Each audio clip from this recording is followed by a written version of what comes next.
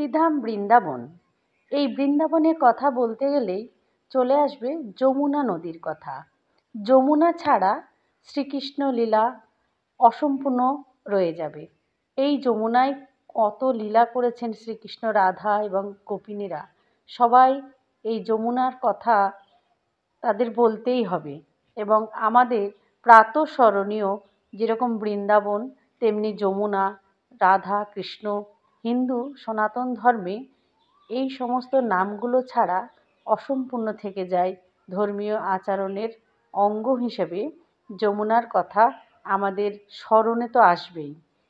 আমরা এই যমুনা নদীর কথা যদি জানি, তাহলে আমরা চলে যাব আমাদের অথর্ববেদ, ঐতরীয় ব্রাহ্মণ ও শতপথ ব্রাহ্মণেও যমুনার নামের সন্ধান মেলে সংস্কৃত ভাষায় যমুনা নামটির অর্থ যমজ। গঙ্গা নদীর সমান্তরালে এই নদীর প্রবাহ বলে এই রকম নাম। বৈদিক যুগে একাধিক স্থানে যমুনা নামটির উল্লেখ পাওয়া যায়। ঋগ্বেদের একটি উপাখ্যানে ভ্রাতা যমের প্রতি যমুনার অত্যাধিক স্নেহের বর্ণনা আছে। যম যমুনাকে নিজের জন্য এক উপযুক্ত স্বামী খুঁজে নিতে বললে যমুনা কৃষ্ণকে বরণ করেন। ষোড়শ শতাব্দীতে বল্লভ আচার্যের যমুনা অষ্টকম স্তোত্রের বর্ণনা অনুযায়ী যমুনা তার প্রেমিক কৃষ্ণের সঙ্গে মিলিত হতে ও জগতের পাপ স্খলন করতে, মর্তে অবতরণ করেছিলেন। এই স্তবে যমুনাকে সকল আধ্যাত্মিকতার উৎস বলে বর্ণনা করা হয়েছে। বলা হয়েছে, গঙ্গা যেমন বৈরাগ্য, উচ্চ জ্ঞান ও মোক্ষদানে সমর্থ কিন্তু যমুনা তার জ্যৈষ্ঠ ভ্রাতা যমের অত্যন্ত প্রিয় বলে মৃত্যুর থেকেও মুক্তি দিতে সমর্থ। হিন্দু পুরাণের বর্ণনা অনুযায়ী যমুনা কালিন্দ পর্বত থেকে উৎসারিত এই কারণে তাকে কালিন্দের কন্যা কালিন্দী নামেও অভিহিত করা হয়। কৃষ্ণের লীলা বর্ণনায় এবং বৈষ্ণব পদাবলিতে কালিন্দী নামটির বহুল প্রয়োগ লক্ষিত হয়। যমুনা উত্তর ভারতের একটি অন্যতম প্রধান নদী। এটি ভারতের জাতীয় নদী, গঙ্গার প্রধান উপনদী। যমুনা নদীর উৎস মধ্য হিমালয়ের বান্দারপুচ পর্বতশৃঙ্গের দক্ষিণ পশ্চিম পাদদেশে অবস্থিত। যমুনেত্রী হিমবাহের ছ হাজার তিনশো সাতাশি মিটার উচ্চতায়। এই নদীর দৈর্ঘ্য তেরোশো ছিয়াত্তর কিলোমিটার। বা আটশো পঞ্চান্ন মাইল। এই নদী এলাহাবাদের ত্রিবেণী সঙ্গমে, গঙ্গা নদীর সঙ্গে মিলিত হয়েছে। গঙ্গা ও যমুনার মিলনস্থলে প্রতি বারো বছর অন্তর কুম্ভ মেলা আয়োজিত হয়। এখন মনে প্রশ্ন জাগে, যমুনার জল কালো কেন? এর উত্তর পুরাণ অনুসারে পাওয়া যায়। ভাগবত পুরাণ আমাদের জানায় শত্রু গরুড়ের ভয়ে রমনক দ্বীপবাসী নাগরাজ কালীও তার স্ত্রী এবং আত্মীয় দল নিয়ে আশ্রয় হয়ে নিয়েছিলেন বৃন্দাবনের কাছে যমুনা নদীর গর্ভে। এত জায়গা থাকতে কেন বৃন্দাবনের কাছে যমুনাতে আশ্রয় নিলেন? এক ঋষির সাপে গরুর বৃন্দাবনে আসতে পারবে না, তাই কালীয় নাগ নিশ্চিন্ত ছিলেন বৃন্দাবনে। কিন্তু তার বিষের প্রভাবে চার ক্রোশ ব্যাপী যমুনার জল সবসময় তপ্ত হয়ে ফুটত। বাল্য অবস্থায় কৃষ্ণ এর পরাক্রম দমন করে, তাকে অভয় দিয়ে আবার রমনক দ্বীপে ফেরত পাঠিয়ে দেন। কিন্তু যমুনার জল আজীবনের মতো বিষের প্রভাবে কালোই থেকে যায়।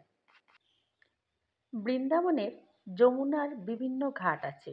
তার মধ্যে প্রধান ঘাটগুলি হল কেশিঘাট রাজঘাট, কালীয় কালীয়ঘাট বরাহঘাট চিরঘাট শৃঙ্গারঘাট তীর্থঘাট আরতুইঘাট আরও অন্যান্য ঘাট। বৃন্দাবনের ভারতের উত্তর প্রদেশ রাজ্যে অবস্থিত একটি শহর, এটি মথুরার প্রায় পনেরো কিলোমিটার উত্তরে যমুনা নদীর পশ্চিম তীরে অবস্থিত। শহরের পাশ দিয়ে বয়ে গেছে যমুনা নদী। এটি দিল্লি থেকে একশো পঁচিশ কিলোমিটার এবং মথুরা থেকে পনেরো কিলোমিটার দূরে অবস্থিত। বৃন্দাবনে তীর্থযাত্রীরা এখনও যমুনা নদীকে পূজা করে তার অনুমতি নিয়ে বৃন্দাবনের বিভিন্ন জায়গা দর্শন করেন। ধর্মীয় ভাবাবেগে মানুষ আজও যমুনা ঘাট বরাবর দণ্ডি কাটে। ব্রজবাসীরা বা ব্রজের বাইরের লোকজন যমুনার ঘাটে আড়ম্বর সহকারে রাধা কৃষ্ণের পূজা পাঠ করে, যুগ যুগ ধরে যমুনা মাইকে আরতি করে আসছে। যমুনার একটা বিশেষ ঘাট হচ্ছে শৃঙ্গার ঘাট। এই শৃঙ্গার ঘাটটি ইমলিতলায় অবস্থিত। এই ইমলিতলায় বড় বড় অক্ষরে এখানে লেখাই আছে একটা সুন্দর গল্প। সেটা হচ্ছে বহু যুগ আগে যখন রাধারানী তার সখীদের নিয়ে এই ঘাটে পাশে লীলা করার জন্যে এসেছিলেন, তা ওখানে একটা তেঁতুল গাছের তলায় রাধারানী আলতা পড়ছিলেন হঠাৎ ওই তেঁতুল গাছ থেকে একটা তেঁতুল আলতার বাটিতে পড়ে গিয়ে তার আলতাটা নষ্ট করে দিয়েছিল। এই রাগে রাধারানী তাকে অভিশাপ দিয়েছিল তেঁতুল গাছকে যে বৃন্দাবনের এই চৌরাশি ক্রোশের মধ্যে কোনো তেঁতুল পাকবে না। যেহেতু তার আলতাটা নষ্ট হয়ে গেছিল। তা এই যে শৃঙ্গার ঘাট মানে সাজগোজের ঘাট, তো এখানে, এইখানে যারা যান এখানে গিয়ে তারা এই সমস্ত ঘাট, ইমলিতলা যমুনা সব কিছু দর্শন করে তারা নিজেদের ধন্য মনে করে। মিলনস্থলেও পৃথক কেন গঙ্গা ও যমুনা নদীর জলের রং? এই যে ছোট্ট গল্পটি বলে আমরা এই ভিডিওটা শেষ করব।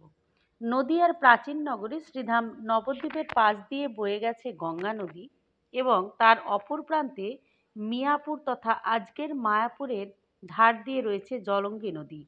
দর্শনার্থীরা যখন নবদ্বীপ ধাম ভ্রমণ সেরে নৌকো করে মায়াপুর ইস্কন মন্দিরে উদ্দেশ্যে যাত্রা করেন। তারা দেখতে পান গঙ্গা তথা হুগলি ও জলঙ্গি নদীর মিলনস্থল। গঙ্গা নদীর জল মূলত ঘোলাটে বর্ণের হয়, তবে জলঙ্গি নদীর জল হয় স্বচ্ছ প্রকৃতির।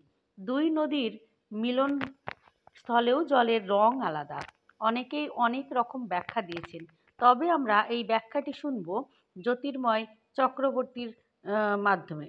সবার আগে জানতে হবে গঙ্গা এবং জলঙ্গি নদীর উৎপত্তিস্থল কোথায়?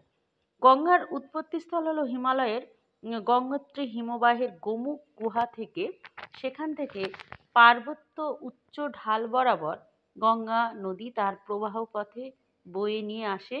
ক্ষয়প্রাপ্ত পলিরাশিকে যা মূলত হিমালয় পর্বতমালার মুখ্য শিলা, রূপান্তরিত শিলা, যার ইংরেজি নাম মেটামরফিক রক্স থেকে সৃষ্ট।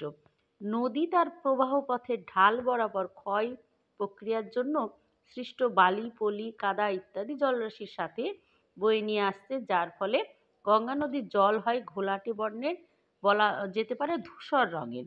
এবং জলটির ঘনত্ব স্বাভাবিকভাবেই বেশি হয়, পাশাপাশি সমুদ্রের জোয়ারের জল নবদ্বীপ পর্যন্তই আসে, যা নদীর জলের ঘনত্ব বাড়ায়। তিনি আরও জানান, অপরদিকে জলঙ্গি নদীর উৎপত্তিস্থল বাংলাদেশ প্রবাহিত পদ্মা নদীর একটি শাখা থেকে যা মুর্শিদাবাদ জেলার কাছে ভগবানগোলা নামক জায়গা থেকে আনুমানিক দুশো চল্লিশ কিলোমিটার সমতল ভূমিরূপের মধ্য দিয়ে আঁকাবাঁকা পথ দিয়ে এসে নদীয়ার নবদ্বীপের গঙ্গা নদীর সাথে মিলিত হয়েছে। জলঙ্গি নদীর জল সারা বছরই স্থিতিশীল থাকার ফলে এটি হয় স্বচ্ছ প্রকৃতির। তবে জলঙ্গি নদীর জল কিছু জায়গায় সবুজ বর্ণের দেখা যায়, যার কারণ ইউট্রোসফিকেশন, যাকে বাংলায় বলা হয় শৈবালীকরণ। জ্যোতির্ময় চক্রবর্তী আরও বলেন, অতএব একটি সম্পূর্ণ ঘোলাটে রঙের নদী এবং একটি স্বচ্ছ পরিষ্কার জলের নদী যখন একত্র মিশছে, তারপরেও তার রং, তফাৎ যথেষ্টই বোঝা যাচ্ছে। তার কারণ, গঙ্গা নদীর জল ঘোলাটে হওয়ার ঘনত্ব অনেক বেশি এবং জলঙ্গি নদীর জল স্বচ্ছ, পরিষ্কার হওয়ায় ঘন তার ঘনত্ব অপেক্ষাকৃতভাবে বেশ কম। সুতরাং ঘনত্বের তারতম্য জেরেই দুটি নদীর জলের রং সহজে মেশে না, যার ফলে খুব সহজেই এই দুই নদীর ওপর দিয়ে নৌকা করে যাওয়ার সময় যে কোনো লোকই দুটি বুঝতে পারেন। আর চ্যানেলটি ভালো লাগলে অবশ্যই সাবস্ক্রাইব করে পাশে থাকবেন। নমস্কার।